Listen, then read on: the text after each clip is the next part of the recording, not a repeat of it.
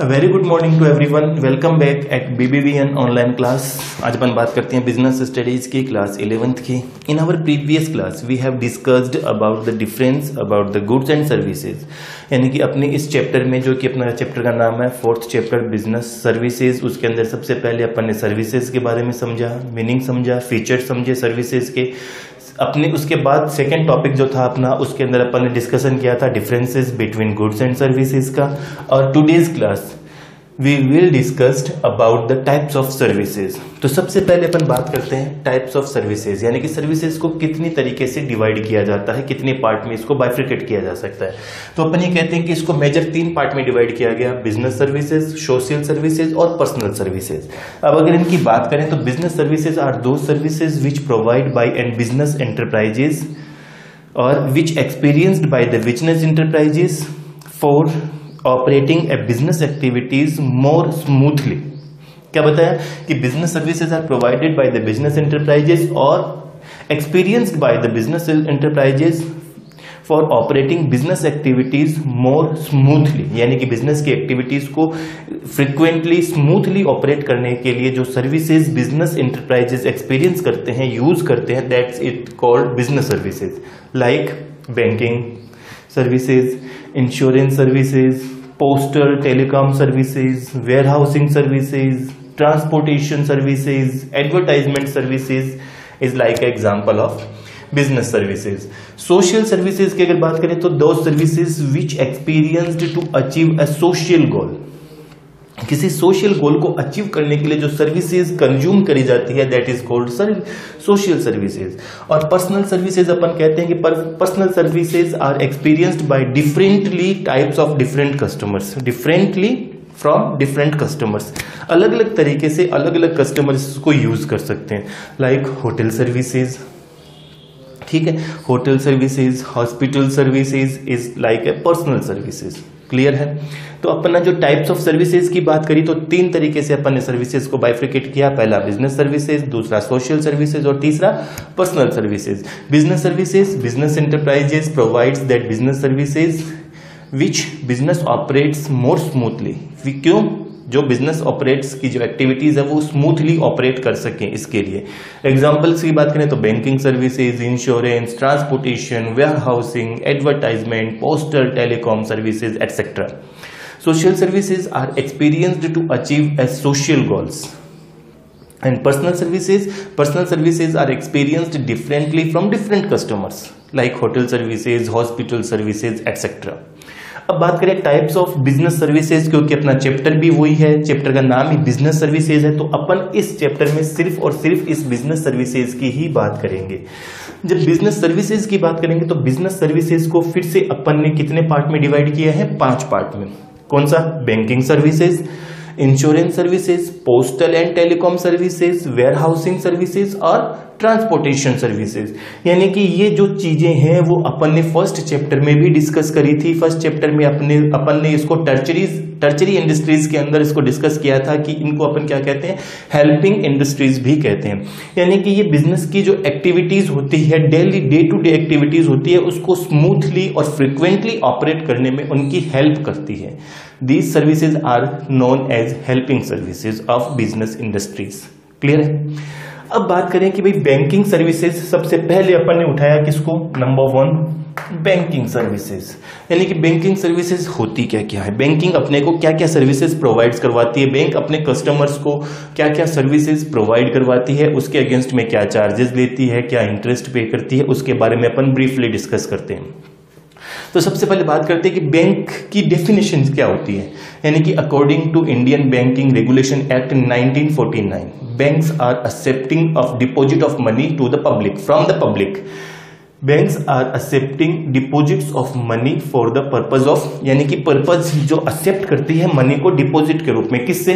From the public for the purpose of landing और investments investment के purpose से और दूसरों को लैंडिंग करने के लिए लेंट पर देने के लिए, उस पर्पज से बैंक्स जो है, वो जनरल पब्लिक से क्या करती है?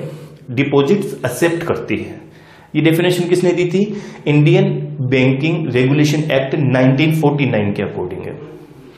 क्लियर है? यानी कि बैंकिंग के अपन ने मीनिंग की बात कर ली, अपन ने टाइप्स ऑफ़ बिज़नेस सर्विसेज़ की बात कर ली। अब बात करते हैं टाइप्स ऑफ़ अकाउंट्स यानी कि बैंक जो सर्विसेज़ प्रोवाइड करवाती है, उसके अंदर कौन कौन से अकाउंट्स हो सकते हैं। पहला होता है अपना सेविंग अकाउंट दूसरा होता है करंट अकाउंट तीसरा होता है रेकरिंग डिपॉजिट अकाउंट चौथा हो जाता है फिक्स डिपॉजिट अकाउंट और लास्ट हो जाता है मल्टी ऑप्शन डिपॉजिट अकाउंट देखिए saving accounts saving accounts are open by an individual एक इंडिविजुअल के थ्रू ओपन किया जाता है through your savings deposited to the bank.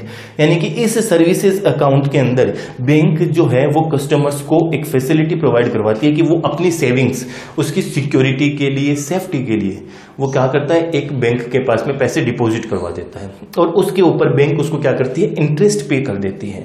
यानी कि बैंक की सर्विस ये थी कि भाई आपका पैसा है, आपकी सेविंग है, आप हमारे पास दीजिए, हम आपको उसके ऊपर इंटरेस्ट देंगे। और आपका जो पैसा है, वो हमारे पास सेफ़ रहेगा। यानी कि security of the money of the savings are provided by the banks यानी कि इस अकाउंट के ऊपर बैंक उनको सिक्योरिटी भी देती है इंटरेस्ट भी प्रोवाइड करवाती है। यानी इस अकाउंट के अंदर कस्टमर पैसे डिपॉजिट करवा सकता है, पैसे विड्रॉ करवाया जा सकता है। इस सेविंग्स अकाउंट के अंदर बैंक कस्टमर को चेक बुक देती है for the withdrawal of the amount amount के विड्रॉ करने के लिए एक चेक बुक इशू की जाती है और एक पासबुक इशू की जाती है अकाउंट होल्डर के नाम से और जितने भी बैंकिंग ट्रांजेक्शन होते हैं, उस अकाउंट से रिलेटेड जो अकाउंट उसने ओपन करवाया था बैंक में, उससे रिलेटेड सारी एंट्रीज उस पासबुक में रिकॉर्ड कर दी जाती है बैंक के थ्रू क्लियर है।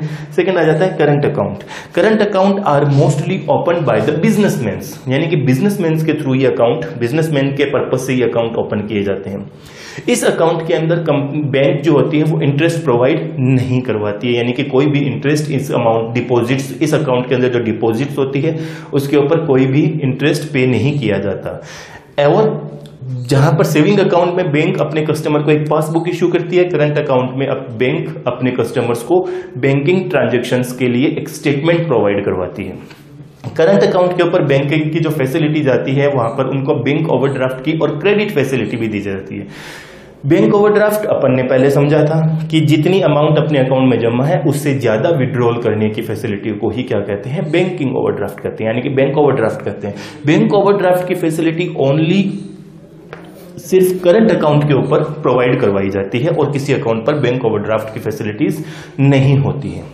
सिर्फ़ मल्टी ऑप्शन डिपॉजिट को छोड़कर। क्लियर है? यानी कि current account is open by the businessman for the purpose of business activities और वहाँ पर उसके अंदर कोई लिमिटेशंस नहीं है डिपॉजिट और विड्रॉवल्स की। लेकिन सेविंग अकाउंट के अंदर डिपॉजिट्स की तो कोई लिमिट नहीं है। विड्रॉवल्स की लिमिट रख दी जाती है। एक फिक्स्ड लिमिट तक ही अमाउंट विड्रॉवल कर सकते हैं। यहाँ पर डे टू डे आप कितने भी ट्रांजेक्शन कर सकते हैं डिपॉजिट्स कर सकते हैं विड्रॉल कर सकते हैं। रेकरिंग डिपॉजिट अकाउंट क्या होता है? रेकरिंग डिपॉजिट अकाउंट होता है कि एक फिक्स अमाउंट एक फिक्स टाइम पीरियड के लिए डेली बेसिस पर बैंक में डिपॉजिट करवा देना। यानी कि ये अपने बैंक अपने कस्टमर्स को एक सेविंग्स की हैबिट डालने के पर्पज से ये अकाउंट ओपन करती है कि भाई आप ये है कि मंथली हंड्रेड रुपीज़ डिपॉजिट करवाते जाएँ। And monthly hundred rupees monthly hundred rupees deposit करवाने से जो डिपॉजिट करवाने की जो हैबिट होगी, उससे उसकी सेविंग्स भी होगी। जो अकाउंट होल्डर होगा, उसकी सेविंग्स भी होगी। और इस रेकरिंग अकाउंट पर जो इंटरेस्ट रेट है, वो मोर देन है सेविंग अकाउंट से। सेविंग अकाउंट से कुछ ज़्यादा interest rate recurring deposit amount पर पे कर दी जाती है। क्या पर्पज था? कस्टमर्स के बीच में सेविंग्स की हैबिट को इंक्रीज करना सेविंग्स करना और इस तरीके से करना कि वो अपने डेली एक्सपेंसेस को बियर करते हुए कुछ अमाउंट्स को सेव कर सकता है। रेकरिंग डिपॉजिट अकाउंट हो गई। फिक्स्ड डिपॉजिट अकाउंट यानी कि इस अमाउंट पर एक फिक्स्ड अमाउंट एक फिक्स टाइम पीरियड के लिए डिपॉजिट कर दी जाती है। और interest rate is higher than recurring deposit और सेविंग्स अकाउंट यानी कि इस फिक्स्ड डिपॉजिट अकाउंट के ऊपर जो इंटरेस्ट रेट होती है वो सबसे ज़्यादा होती है। इसका पर्पज क्या था कि जो हमारे पास सेविंग्स थी, उसको हमने एक फिक्स टाइम पीरियड के लिए फिक्स अमाउंट को डिपॉजिट कर दिया बैंक के पास में। अब बैंक उस अमाउंट को बैंक जब अपन ने डेफिनेशन की बात करी तो बैंक क्या करती है? एक्सेप्ट करती है डिपॉजिट को for the purpose of lending और इन्वेस्टमेंट यानी कि बैंक उस अमाउंट को लेंट पर दे देती है और उससे भी इंटरेस्ट कलेक्ट करती है। ये कहलाता है अपना fix deposit account multi option deposit account means savings account और करंट अकाउंट के ऑप्शन को अपन कह देते हैं मल्टी ऑप्शन डिपॉजिट अकाउंट यानी कि ये दोनों फैसिलिटीज़ जिस अकाउंट के अंदर अवेलेबल हो जाती है, वो कहलाता है अपना multi option deposit account clear है? तो इन आज की क्लास में अपन ने क्या क्या डिस्कस किया? सबसे पहले अपन टाइप्स ऑफ़ सर्विस को डिस्कस किया। कितनी तरीके की? तीन तरीके की। कौन कौन सी? बिज़नेस सर्विस सोशल सर्विस और पर्सनल सर्विस तो होगी बिज़नेस सर्विस कौन सी? Business service are experienced by the business enterprises for operating a business activity more smoothly social services social services are experienced to achieve a social goals और personal services personal services are experienced by differently customers of different types फिर types of business services की बात करी तो business services को अपन ने पाँच part में डिवाइड किया। कौन कौन सा? Banking insurance postal telecom warehouse और लास्ट ट्रांसपोर्ट जब अपने चैप्टर का नाम ही बिज़नेस सर्विसेज़ है, यानी कि अपने सिलेबस में अपने को सिर्फ़ डिस्कस ही बिज़नेस सर्विसेज़ को करना है तो अब अपन ने क्या किया? बिज़नेस सर्विसेज़ के अंदर सबसे पहला जो था अपना बैंकिंग सर्विसेज़ उसको किया। जब बैंकिंग सर्विसेज़ को अपन बाइफ्रिकेट करते हैं बैंकिंग सर्विसेज़ के मीनिंग की बात करते हैं तो सबसे पहले बात करते हैं कि बैंक क्या होती है। तो according to Indian banking regulation act 1949 क्या कहता है? Banks are accept deposit of money from the general public for the purpose of lending और इन्वेस्टमेंट्स डेफिनेशन की बात करी। अब बैंक के अंदर अकाउंट्स की जो बात करी जाती है कि किस तरीके के अकाउंट्स होते हैं तो कितने तरीके के अकाउंट है? फाइव टाइप्स कौन कौन सा? Saving account current account recurring deposit account fix deposit account और multi option deposit account saving accounts are open by an individuals for their savings यानी कि बैंक कहती है कि आपके पास जो सेविंग्स है वो हमारे पास डिपॉजिट करवा दिए इसके ऊपर बैंक क्या करती है? इंटरेस्ट प्रोवाइड करवाती है। इस अकाउंट के अंदर बैंक अपने कस्टमर्स को क्या करती है? चेकबुक इशू करती है for the withdrawal of money और पासबुक इशू करती है, जहाँ पर कि उस पासबुक के अंदर बैंक अपने सारे banking transaction banking transaction according to this account are recorded current account current account are mostly open by the businessman and इस अकाउंट के ऊपर कंपनी क्या करती है? कोई इंटरेस्ट नहीं देती है बट इस अकाउंट के ऊपर कंपनी क्रेडिट की फैसिलिटी देती है बैंक ओवरड्राफ्ट की फैसिलिटी देती है। रेकरिंग डिपॉजिट अमाउंट यहाँ पर बैंक ये कहती है कि आप एक सर्टेन अमाउंट को एक फिक्स टाइम पीरियड के लिए कंटिन्यूसली बेसिस पर डिपॉजिट करवा सकते हैं, जो कि अपनी डेली भी हो सकती है वीकली भी हो सकती है मंथली भी हो सकती है और ईयरली बेसिस पर भी हो सकती है। फिक्स डिपॉजिट अकाउंट के अंदर एक fix amount fix time period के लिए बैंक के पास रख दी जाती है और इस अकाउंट के अंदर बैंक की इंटरेस्ट रेट सबसे हायर होती है, यानी कि सेविंग अकाउंट्स और रेकरिंग डिपॉजिट अकाउंट से भी ज़्यादा इंटरेस्ट रेट पे कर दी जाती है। Multi option deposit account saving accounts और करंट अकाउंट दोनों का मिक्सचर होता है, यानी कि ऐसे अकाउंट जहाँ पर सेविंग अकाउंट की फैसिलिटी भी होती है और करंट अकाउंट की फैसिलिटी भी होती है, वो अकाउंट क्या कहलाते हैं? अपने मल्टी ऑप्शन डिपॉजिट अकाउंट कहलाते हैं। क्लियर है? तो आज की अपनी इस क्लास के अकॉर्डिंग आपको इन सारी चीज़ों को रिकॉल करना है रिवाइज करना है। अपन अपने नेक्स्ट टॉपिक के साथ मिलेंगे अपनी अगली ऑनलाइन क्लास में। Thank you